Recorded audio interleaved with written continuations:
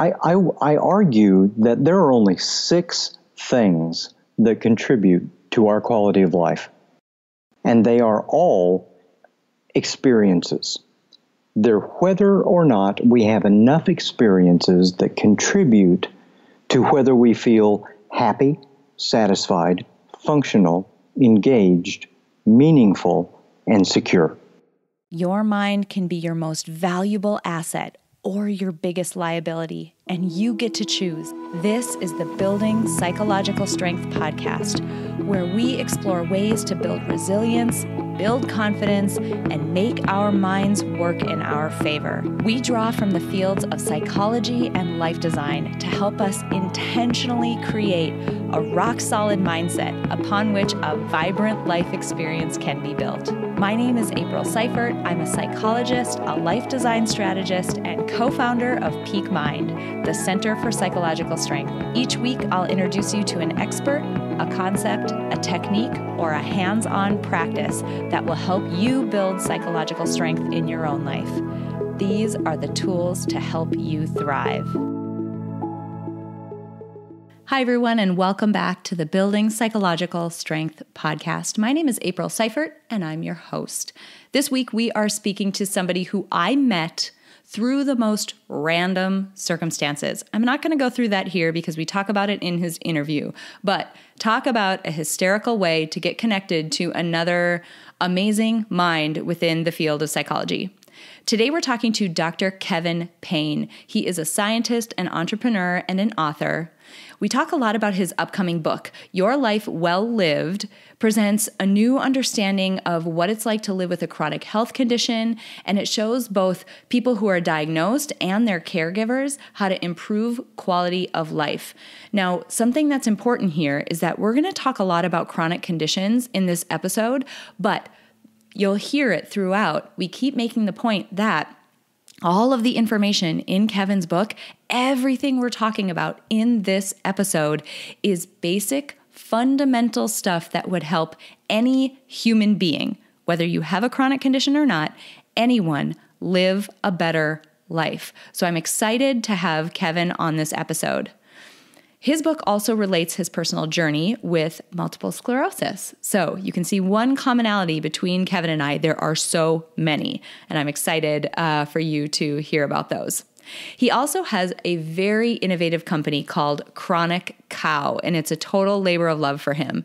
He uses cutting edge analytics to deliver improved quality of life. So these are practical answers that are grounded in science, driven by data, and delivered with compassion, and it's personalized for you. He talks a bit about this amazing recommendation engine that he built. So he's a data scientist too. Isn't that funny? Another commonality. But he built a recommendation engine to help you figure out what the best actions and the best uh, things that you can do to improve your life are. So you can actually go in and take this, uh, go through what looks like a survey, and a recommendation engine will run in the background and figure out what your next steps should be. Uh, Kevin has educated, inspired, and entertained tens of thousands through his classes, workshops, and speeches. He has a PhD in sociology and psychology, so he can not only crunch data, but he can also present it in a way that people can actually understand and implement. I'm so excited for you to hear from Kevin. He's had 15 years as a professor, and he ultimately left academia to pursue a life of ser- serial entrepreneurship that is all focused around helping people live well. I'm so excited to have him on. This was such an incredible turn of events that we got connected, and I know you all are going to experience such a shift and get so much value out of this episode with Dr. Kevin Payne. Kevin, I'm so excited that you're here today. This is going to be awesome. Me too. Uh, we we have so much to talk about that uh, I, I my mind is a whirl. I know, I know. I think it's going to be tough to keep this one reined in. Uh, I feel like I need to be transparent about how we met with this audience because it is hysterical about how all this happened. Can you talk about how, because you originally through some Google searching found me. What led you, like, what were you searching and how did you find me? well, I was I was uh, doing a, a, magazine interview for uh, uh, that was about people who skydived with chronic illness. And afterward, I got curious and I thought, well, can I find other people with multiple sclerosis who skydive? So I did a search and there was a bunch of garbage. And uh, then I narrowed it to an image search. And I found pictures of people with multiple sclerosis doing tandem skydives. I found uh, people who were doing charity dives to support MS. And then I found pictures of me and pictures of you. so I followed the breadcrumbs, and there you were. And I was stunned. And the uncanniness, so you were stunned at that point, which is hysterical because then you keep going and it's uncanny how much the two of us have in common. So, for folks who haven't listened to me for a while, I also have multiple sclerosis, have lived with it since I was about 14, and uh, have my skydive license as well. But then we ch- I think we chatted on the phone and we realized how much more we have in common. So, do you want to keep going on the laundry list? Yeah. So, so we're both social psychologists, uh, and and you know have doctorates in that field. We both have done extensive work as data scientists. Uh, we both have podcasts. Um, and and it just went on and on and on, and and I felt like you were kind of the long lost sister from another Mister. I love it. And so we were chatting, and as we had that conversation and we kind of got over the initial shock of how much we had in common, we got to talking about your area of expertise and the work that you do, your book, and all of that. And I knew that I needed to bring you on uh, because I knew that this audience would really find a lot of value in the work that you're doing. So, where's the best place to start? Is it your company? Should we start with your book? Where should we dive in today? Okay, so I spent a lot of years as a professor and, and left to be an entrepreneur. Another, you know, similarity we have being entrepreneurs, uh, and my life was completely turned upside down by living with a chronic illness, both as someone who was diagnosed and years spent as a caregiver. And it completely exploded my life. And I thought, you know, I'm, I'm the wrong kind of doctor to find a medical cure. But there are so many things that we face that are non medical that directly contribute to our quality of life and, and that's the kind of doctor that I can speak to.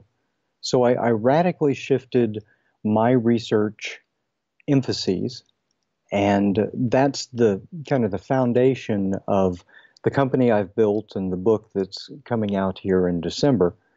Uh, so the company is called Chronic Cow. And yeah, your your listeners have heard that right, Chronic Cow.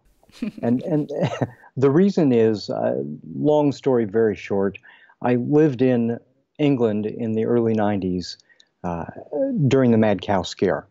And so to this day, I can't donate blood.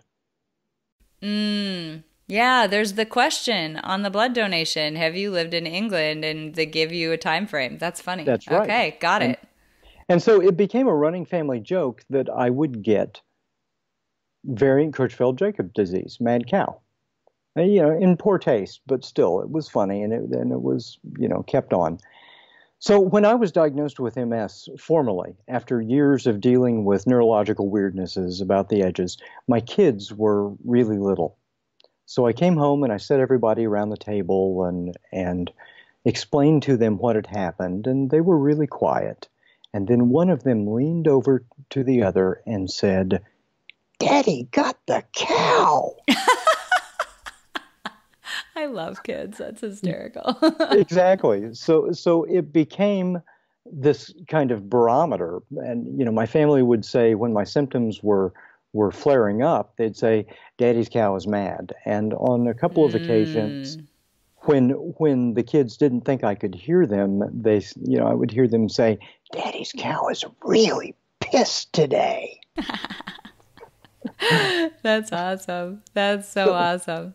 Yeah. So so there's that personal story, but then, you know, from from a, a broader perspective, I named the company Chronic Cow because so many people that I have tried to help over the years uh, have, you know, they they they live with this idea that there's a monster that's been dropped in their body with them, and they frame their lives as a constant fight. And if you frame your life as a fight against a monster, you will never win. So it's not a monster, it's a cow. She's big, she's bulky, she's smelly, she gets in the way, but you can handle a cow. Hmm. That's amazing. That's amazing. Can you dive into that a little bit? I it's um actually before we go there, let me make one point. Mm-hmm. Something that we were talking about before we started recording is something that I want to make sure that I mention now. So much of what we do in Peak Mind and with the Building Psychological Strength podcast is we're drawing from the field of psychology, essentially a lot of stuff that happens during therapy and, you know, in peer-reviewed journal articles and things like that that are that were originally written and research that was originally done to help people who have, you know, diagnoses, mental health diagnoses of some sort. And sometimes it can be tough to make the make the connection between how that information that's meant to help somebody who has a diagnosis could help somebody just in their average life. Like this is not for just for people who have a very specific mental health diagnosis. The the techniques and the tools that we talk about on this podcast and in peak mind they help everyone. And to your point, and more focused on your work, you know, you focus so much with people who have chronic illnesses and chronic conditions, which is extremely important work. But similarly, the work that you do with them, the tools and techniques that you give them, the reframing that you do and helping them think about it, so useful for everyone, even if you don't have a chronic condition. So if you're listening to this and you're like, eh, I don't know if this episode is really for me, the information in here applies no matter what your circumstances are. These are basic, hey, let's live a good life kinds of tools and techniques. Yeah, exactly. And and that's why the the subtitle of my book is is about chronic distress, pain and illness because these are circumstances that we all live in and you know half of all Americans like us now live with chronic health conditions. So if you don't have one, you care about someone who does. And that's equally as distressing. And and and so all of these tools people like to frame themselves as either healthy or sick. And and we throw ourselves into these stereotypes. And by stereotyping when we're healthy, it makes us feel more comfortable about ourselves. But the problem is that, you know, without being too delicate here, most of us are not nearly as good at being people as we'd like to think. Mm, dive into that. I, I would love to hear the the sub bullets under that because yeah. I think there's some good stuff there. They, uh, we, we have a an inbuilt bias, which is is well understood through research, where we we see ourselves usually a little more positive than we should. We're, we're, and there are a lot of good reasons for that because that is a source of resilience for us and it keeps us motivated to keep trying in the face of failure. But in surveys, 70, 80% of people will identify that they are above average. Well, that's impossible.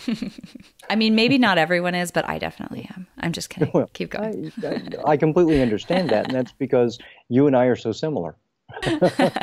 Keep going. Sorry. No, that's fine. That's fine. Uh, so, so I really, you know, like to focus on on this idea that we set such high standards for ourselves sometimes that rather than acknowledge that that we all are too human and fail all the time, uh, we we reframe a, a fictional interpretation of that reality, and and and that makes us satisfied, it makes us happy uh, for a time, but it's still not true. And if if we learn to approach ourselves with a little more grace and kindness, uh, then we can face those those shortcomings, and we can really work to you know, often just accept them because we don't have to be great. We don't have to be perfect at everything. We, we need to, to give things a shot. We need to understand that, you know, in my book, I, I talk about this thing I call the, the edge. And the edge is where the capacity that we can deliver is approaching the demand of the circumstance in front of us. Mm. So it could be a physical task, it could be emotional, it could be cognitive, it could be social in a relationship. But but all of these things have an edge. And and when we get there, we're going to fail. Because be, because the edge is is where pain, fear, risk and danger reside. But it's also where we're most truly alive. Mm-hmm. Joy, love, growth and learning are also found there. And and so when we get to that current limit of our abilities and experience, we should celebrate that because we're being brave enough to, to tackle that edge. And that's where learning and strength and growth happen. I couldn't agree with that more. I'm standing over here, like wanting to jump up and down and cheer and high five you through my computer. Um, it's interesting because, number one, I think people underestimate where that edge is because our natural inclination to be afraid and mitigate risk kicks in quickly yes. as we start to approach the edges or even like think about approaching the edges of what our comfort zone is that fear response kicks in and we don't realize that we do have a bit more gas in the tank but without and, and without bumping up against that edge, which I love that terminology, without bumping up against that, as you mentioned, growth can't happen. You have mm-hmm. to get to the point where you've fatigued what you are capable of doing for your body to it, it's like building a muscle, right? That's why exactly. we call this building psychological strength. It's a set of exercises very intentionally um, using the analogy of physical exercise. This is mm-hmm. a muscle. I'd love to hear your perspective on this because I know you've written on this in your book. Yeah, and, and you're exactly right. I, I begin with that analogy because people can understand lifting weights, for example. They they know that when we stress our muscles just a bit and then we relax, and we allow ourselves the time and the resources to recover, we come back stronger. In the same way, if we do not cognitively stretch our boundaries in the same way, I mean, when you try to learn something new, you fail a lot. And and that's okay because you're you're learning and you know people people succeed once and they think woohoo i've got it and they forget that one sign that you are at an edge is that your performance becomes erratic. You succeed, you fail, you succeed, you fail, and, and, and you go about until you have developed enough that performance at that level is no longer at your edge, but mm. within your comfort zone. Mm-hmm. And I, we do that yeah, I mean, it's emotional, it's in relationships too. I totally agree. I have an analogy actually that I, I a better podcast host would just know the numbers of all of their episodes. I don't. I'm not that good. But a previous episode, I'll link it up in the show notes. I'll find it and link it up on on the show notes page. But I gave the analogy talking about this exact thing, like trying to stretch your comfort zone, where that learning happens. The analogy I gave was when I was a kid. I used to go skiing a lot, which is funny because I'm from North Dakota, but there actually was a hill that you could ski down. so there was a hill big enough. Uh, and I was trying to get better. And I remember one day I was talking to one of the ski coaches out at this hill, and I said, Yeah, I'm really working on getting better and I'm trying to um, really improve this winter. And he asked me the most interesting question. He said, Oh, great. How many times did you fall today? And I said, I, I didn't fall today. And he's like, You're not going to get better that way. He said, You need to get yourself to the point where you're going on runs that there's a chance you're going to fall because that run is slightly harder than what you were able to do when you showed up here today. Mm-hmm. And I was like, man, this guy's totally right. Falling doesn't mean you're failing. Falling doesn't mean you're bad at it. Falling means you're on a run that's a little bit harder and you're getting used to it. That just like slapped me in the face when I was a kid and it stuck with me ever since. Yeah. Falling means you are pushing your boundaries. And that's a good thing. Because if we're not growing, we're dying. I mean, living organisms are like that. If we're not growing, we're dying. I love that. Life can be so much more than simply going to work and waiting for the weekend. But deep down, you already know that. You know that life can be so much more vibrant. You know you were made for more than just passively going through the motions. You know you can thrive, but to do that, you have to start from the inside out. And that is why I'm so excited to announce that for a limited time, we're offering you the opportunity to join us in the Peak Mind membership for only $1 for your first month. That's right, $1 to join us in the full Peak Mind membership. All you have to do to take advantage of this amazing offer is to visit us at www.peakmindpsychology.com, click on the membership, and enter the code THRIVE at checkout. Think about it. We all know what we need to do to keep our bodies strong. But what about our minds? What if you had the tools to build the psychological strength confidence, and resilience to help you thrive at work, at home, and in the rest of your life? What if you made the commitment to living your life by design and not by default? All of this is possible. The goal of Peak Mind, the Center for Psychological Strength, is to help you build the mental toughness, flexibility, and resilience to thrive in your life. We draw from the fields of psychology and life design to help you intentionally create the vibrant life experience you know is possible. Through live online workshops, a 24 7 on demand library, expert interviews, and monthly challenges, our members are building the psychological strength that it takes to thrive through life's ups and downs. And like I said, you can do it too. For a limited time, we're offering you the opportunity to join us for only $1 for your first month. Just visit www.peakmindpsychology.com, click on the membership, and enter the code THRIVE at checkout. Your mind can be your most valuable asset or your biggest liability, and you get to choose. So, what choice are you making? Join us in the Peak Mind membership before this amazing offer goes away. I want to make sure we get the full title of your book in here because I don't think I've done a good job of doing that. Your full book is called Your Life Lived Well The Science of Crafting a Good Life Under Chronic Distress, Pain, and Illness. So maybe we can kind of hit this from a couple of sides. Um, I'd love to focus for just a moment on people who have chronic illness. Because you made an interesting mention before about how you know there is not a monster inside you that you're trying to fight. And you've done this work with people who have had who have chronic conditions for so long. I'd love to hear your thoughts about you know what are those factors that help somebody who has a chronic condition help them live well um, knowing that they have a bit more uh, to manage maybe in their day to day life. And you certainly are a great example of that.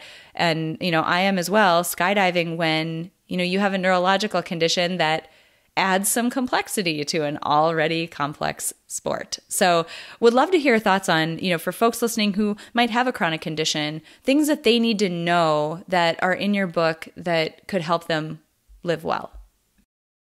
Sure. Um, and you know skydiving is a perfect example of that sort of thing. And and for me that's where i found my edge right?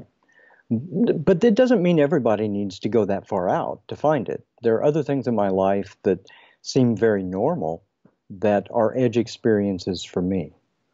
And and the first issue that that people in these circumstances need to understand is that your edge is wherever your edge is right now at this moment. And There's no shame in wherever that is. I know one of the things that that many people with chronic illnesses, myself included sometimes, find frustrating is that our edge is a lot further in than we than where we think it should be. Everybody else is normal, or I used to do this all the time, and now you can't. Well, you know, cognitively that's not at our edge, but maybe behaviorally it is. Maybe we don't have the coordination uh, at this particular time, or maybe our our you know we're dealing with so much pain, or or whatever it is. It's it, be, because to do something, you know, to engage in any action, it kind of has to pass through each of those gates. It's got to go through cognitive and emotional and behavioral and physical and often social gates. And so it may be something that's socially easy for you to do and cognitively easy for you to do, but emotionally, you're at the edge. That's your bottleneck at that point. So we have to become more intentional and more purposeful and, and really develop the skills of observing ourselves. And we're not normally trained how to do that. Uh, you and I were trained how to do that because that was part of the kind of, of academic training that mm-hmm. we went through. Mm-hmm. But that's not a typical thing. We're, we're mostly on autopilot as we move through life. And uh, so, so that's kind of where we begin often because most of the challenges, because I, I, I'm a data guy, I kind of went a little crazy uh, with this after I was diagnosed and, and really got into this research. I, I've interviewed hundreds, I surveyed thousands, I built a scraper that went out on the web and collected 2.23 million data points. I did meta analyses across more than 7,000 studies on over 100 conditions. That is a little nuts, but awesome. And I'm excited to learn what you learned. yeah. Thank you for doing that, by the way. well, and I found nobody had done that across conditions because people tend to be blinded by the medical diagnosis. And so they look mm. at only people who have MS or only people who have depression or only people who have CP, or only people who have, you know, whatever it is. And I was interested in what's the shared experience we have when something comes into our lives that we can't get away from, that is somehow affecting or diminishing some of our capacities and is providing that ongoing, pervasive, repeated source of threat and trauma. And what I found was that, you know, 80% of our challenges didn't have diddly squat to do with the medical diagnosis. Mm. They had to hmm. do with condition management, behavioral change, mindset, threat management, relationships, and quality of life. Wow. That list right there makes the point that I was saying earlier how sure you're and I want to go in about eight directions. I'm getting excited and scattered and that happens, but it you can see from that list right there how applicable your work and you know the content of your book is to a person in there who might not even have a chronic condition those are basic things that we all do on a day-to-day basis mm-hmm. or should do yeah. It's just, and you know what? One one thing that I think is happening is all of those are shared challenges everybody faces, but when we get that diagnosis, those are those are kind of thrown into sharp relief in our lives, and they become more effortful in some ways, and and we're more cognizant of how they're more effortful but they're still true of everybody. Mm-hmm. Yeah. I recently interviewed Isaac Lidsky. He wrote the book uh, Eyes Wide Open, TED speaker, crazy resume, childhood TV star, uh, but he's blind.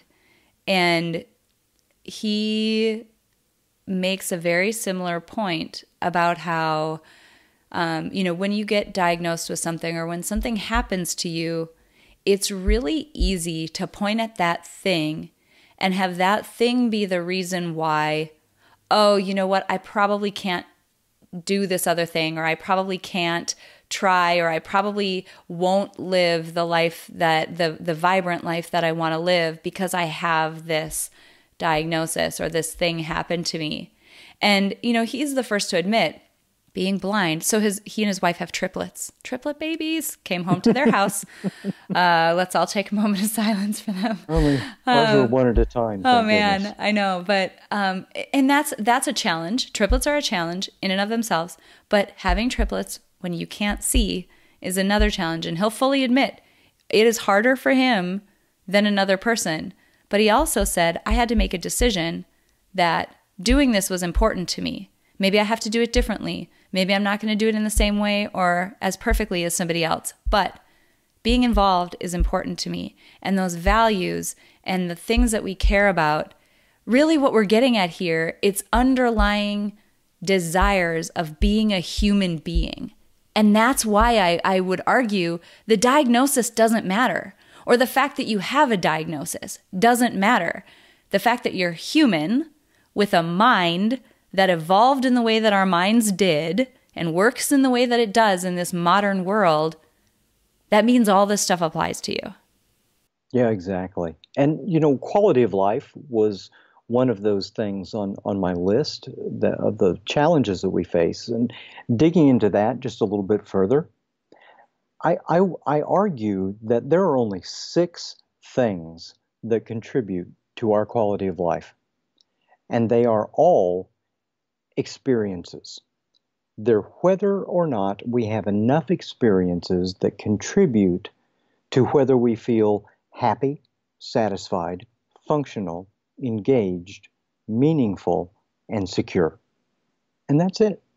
Consistently, if you interview people about what makes them feel good about their lives, they, they share that they're having enough experiences that fulfill those fundamental things. And and they're not hierarchical. They you know, which one is important to you or to me might differ. Uh, like for me, I, I have a I have a creepy high tolerance for risk. So the security stuff doesn't necessarily resonate as high with me. I mean, I need some. All of us need some, but the but the one of those six that that really resonate from from my quality of life is the meaningful one. I, I really feel like I, I, I have this this feeling I've been so fortunate in my life to to be able to get a lot of education and to spend my life doing what I love studying people and trying to figure us out. And, and I feel like that incurs a burden to do something useful with it. And not a burden in a bad way, but, but you know, this is, this is something that, that I feel really compelled to do. You know, the Seligman in a lot of his positive psych work talks mm-hmm. about the the notion of living well, right? And so many people focus on positive emotions, happiness and joy. And that's right. where they stop. And he said he makes this this funny comparison because he said if all that mattered was positive emotion, no one would ever have kids. Because mm-hmm. by far and away this happens after you people who have kids and compared to people who don't, people who have kids have less positive emotion. But yes. where things balance out is on that meaning side. You're mm-hmm. contributing to something that is important and bigger than you. I think I was profoundly affected. I had a, a, a really unusual undergraduate program, and, and it started with two required seminars, and they were both on the question what does it mean? You know, so first semester freshman year, and, and they were weed out courses. And the idea was what does it mean to live a good life? And one of the seminars was focused on ancient Greek thought, you know, classic Greek thought uh, about eudaimonia. what is the good life? And the other one was Renaissance and Reformation thought on that. And I have been stuck on that question for the rest of my life.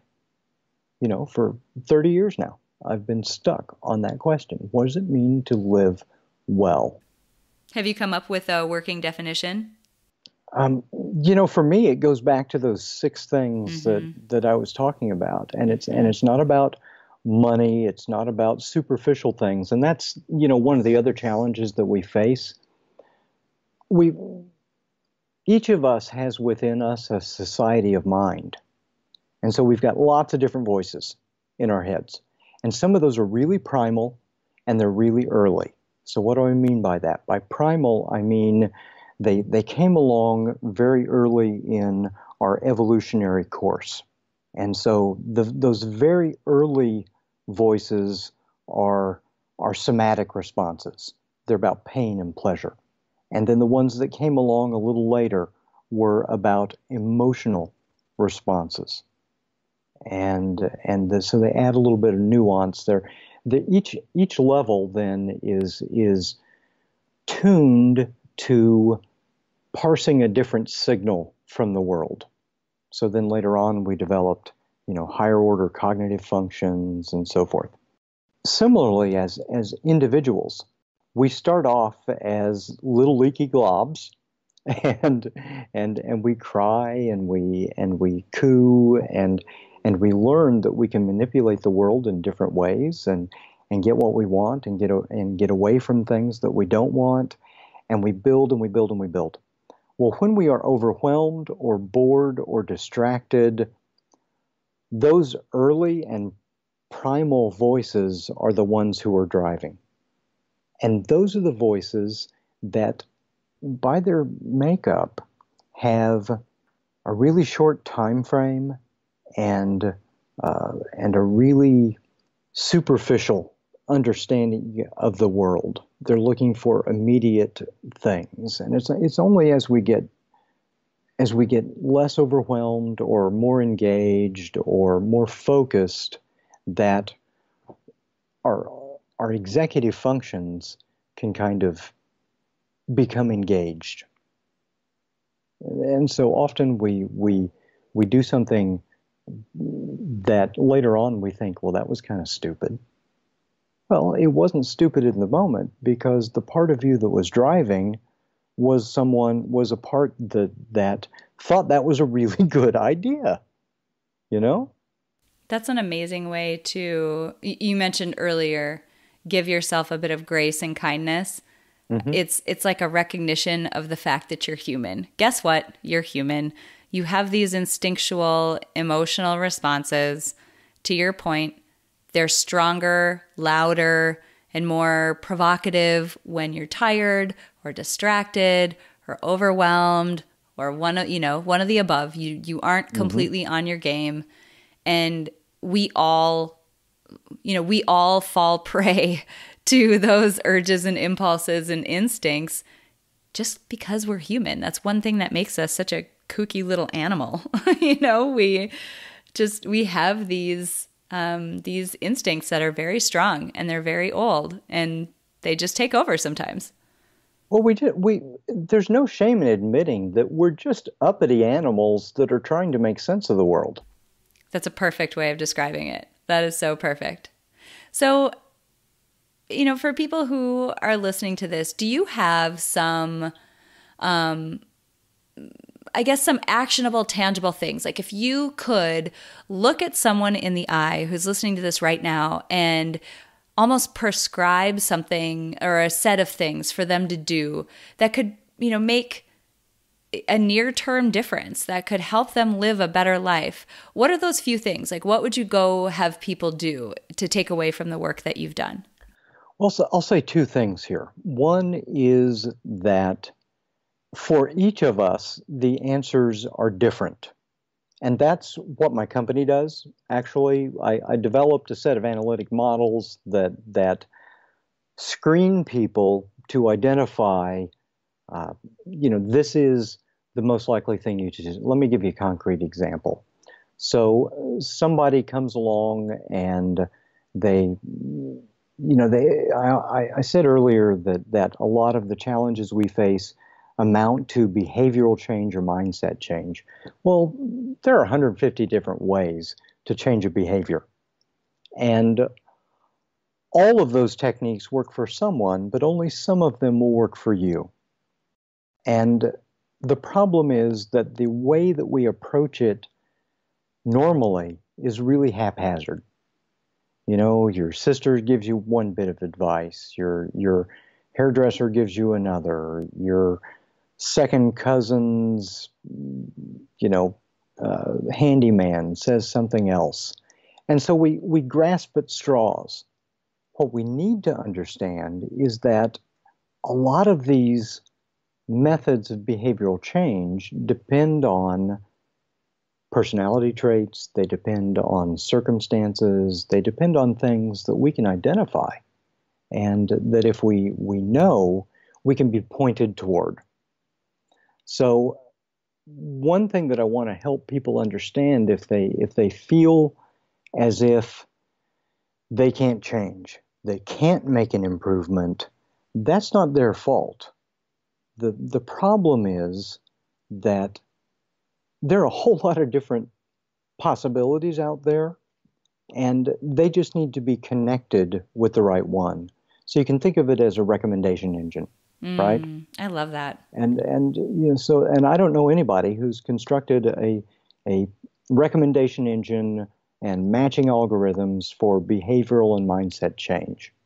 And and so that's what the company does. Uh, and then we use that to drive curricula that that we deliver and and suggestions and monitoring that that go along with that. So, so that's one thing. But then the second thing that people can walk out with right now is you need to learn to recognize the the signs of you being at the edge.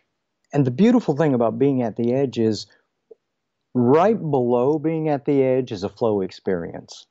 And those are some of the best experiences that we have as human beings. And and those experiences can be framed as fear or they can be framed as excitement, right? So I don't know about you, but every time I jump out of an airplane, right before I hit the door, a little voice in the back of my head says 82 seconds. Mm. And I hmm. know that my life expectancy is now 82 seconds unless I do something really right. Mm-hmm. that's that's a wonderful thing that I love about jumping out of airplanes. People think you're either absolutely crazy or a total if you do it, but what they don't realize is that's where we find joy because there's joy and freedom in the air for some of us. And I just want everybody to find their own place where they find their joy and their freedom, right? Mm-hmm. And and so reframing every time you have a fear experience that's that's invoking this whole set of threat responses that that we have that are primal that are largely outside of our control. But what we can control is how we learn to frame them. So anymore i don't get afraid when i jump out of the door. I get excited. I don't get afraid when i'm in front of a crowd. I get excited and that takes time, and that takes grace, and that takes exposure, and it takes practice, and it takes failure, and it takes getting mm. back up hmm. again. That's so good. That is so good. Um, I love all of that. I adore that you have a recommendation engine for people to figure out what their next best step is. Where do people get access to that? Where do they find you and that that engine and how do they get hooked up to something like that? If they go to chroniccow.com, uh, then they can sign up and and uh, right now it's available in a couple of different ways. We we do it through a human mediated interface. Uh, they go in and it looks like a survey and they do that and then they're assigned a Chronic Cow guide and they kind of go through that process and and it's available uh, through uh, in a group format and an individual format. Next year the app is coming out. Uh, sometime in there, it's coming out as what will look like a, a, an online course format. So there's some of the analytics, and then it's directed toward what they need. So one of the things that I found is uh, that's that's a continual problem is there's a bunch of apps out there that purport to teach you or show you or guide you in a particular area. And again, all of them will work for someone, but only some of them will work for you. And and the problem with a lot of them, you know, the dirty little secret of most apps is they don't have a lot of stickiness. People don't stay with them. And and what the research tells us is that sometimes we need some human mediation. So rather than just coming out with an app, we've we've got the chronic cow mm. guides who are all trained as psychologists or social workers or therapists, you know, in some way, even though that's not what we're doing, that's the right skill set. And they all have personal experience as caregivers or living with I chronic conditions that. themselves. Oh my gosh, I love that. It's so needed, you know, because uh, again, uh, mm-hmm. as someone with MS, right? I know exactly who to go to if I have um, an exacerbation or a flare up or something happens physiologically.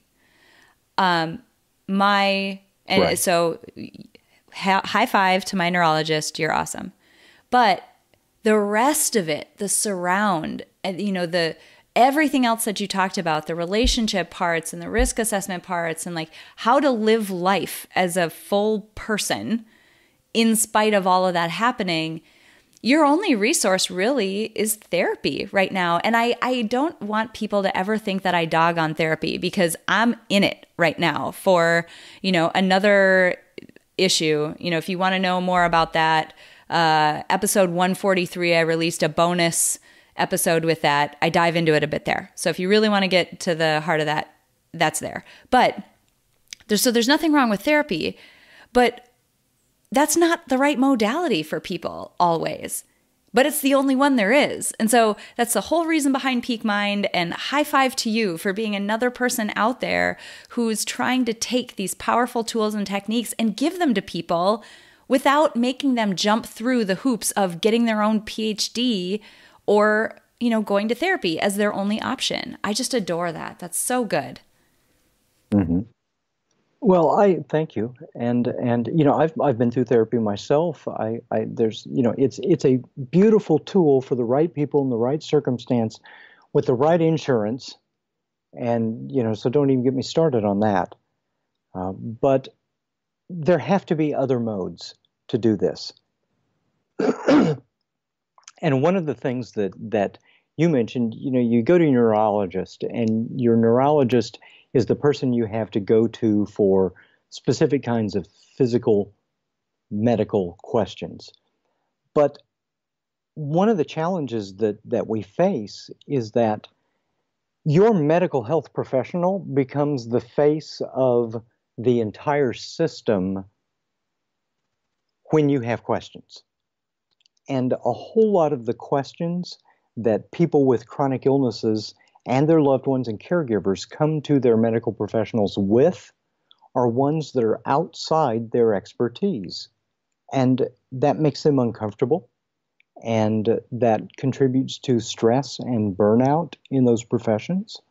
And so, you know, with Chronic Cow, a lot of what we do is, is seminars and webinars for medical mm. health and therapeutic professionals to help them deal with this and and give you know better quality answers and also deal with the stress of patients like you and I. Because like for me you know with me there is no happy ending. I will never get better. And medical professionals are trained in an acute care model they're trained with this idea that people come in they have a problem, you fix it, you return them to their normal life. And subconsciously, what they do day in and day out with chronic patients doesn't fit that model. And that adds a huge source of distress and burnout within the profession. I love that. It's such a it's such an important additional layer to the work that you're doing. That's awesome. As we're wrapping up today, I have to ask you for the way that you think about psychological strength. How would you characterize it within the context of the work that you do? What does what does psychological strength mean to you? I, for me, psychological strength is almost a direct synonym to resilience. And you have to allow the world to break you in big ways and small ways and recover from that, just like you would build a muscle. And and it's only you know I thought uh, this is a whole other podcast, but I mean I I, I was I, I was very fortunate, and I thought the world had tested me, and it had in some ways, but for many years I didn't recognize the privilege that I'd had, and so when the world really did start testing me, I mean it felt it felt like the trials of Job I mean, my MS took a, a really nasty turn. It was a right frontal temporal lesion, and you know what that can do. And and I thought I had lost myself and I would not come back. And I, you know, I was dealing with that in the midst of, you know, my then wife who uh, was dying of cancer, and we were uh, doing it in in the midst of being an entrepreneur and not having a, a steady safety net around us and having little kids and yada yada yada. And you know it just went on and on. And i was and then in the midst of all that my dog died. I mean i i was broken completely broken. And so in many ways i've embarked on the research that i have and on the path that i have because first I had to learn how to fix myself and how to bring myself back to a life that I wanted to live. And I can't just do that for myself. I've, I've got to share those things with others as well. And I'm so glad you do. This has just been so wonderful. What an incredible, fortunate series of events between you finding a random photo of me on Google to us connecting and discovering the parallel path that we're both on to bring this valuable information to a wider audience. I'm so grateful to have met you and I'm so grateful to have had you on. Um, you're welcome back at any point in time. Would love uh, to continue to help spread, you know, this message both, you know, to folks with chronic conditions and then just everybody else who just wants to live, uh, live well and live the best life that they can. So can't thank you enough for being on. This has just been a pleasure. Well, I, I truly appreciate it. Um, the book comes out on December 3rd. Uh, Pre sales are available about a month before that. Um, you know, and I know you'll link mm-hmm. uh, the Chronic Cow website, or they can go to my own website. And, and uh, you know, I, if people have questions, please reach out. Don't, don't be shy. Um, this is, you know, you and I do the things that we do because it's about helping people. And if if somebody else doesn't ask or raise their hand, I, I, you know, I can't be helpful because mm-hmm. I don't know about them yet. I love it. I love it. I'll second that. Do reach out to Kevin, to myself. If there's anything that has resonated with you on this episode that you think we can help with, we are definitely here. And that's why we do what we do. Thank you so much for being here. And thank you. It's a simple fact that nearly everyone in the world could benefit from building psychological strength. But not everyone will put in the time and effort to do so. But today you did. Thank you so much for listening to this episode of Building Psychological Strength. Now, if you're interested in building the mental toughness, confidence, and resilience you need to thrive through life's ups and downs, visit us at www.peakmindpsychology.com. Also, if there's someone in your life who could benefit from this episode, please share it with them. And if you yourself found this episode valuable, meaning if you took away even one insight that you can use to build psychological strength in your own life, we would so appreciate it if you would drop us a rating and a review on iTunes. The thing is, the more ratings and reviews we have, the easier it is to get this powerful and important content out to the people who need to hear it. Remember, your mind can be your most valuable asset or your biggest liability, and you get to choose. So choose wisely, my friend. And I'll see you next time on Building Psychological Strength.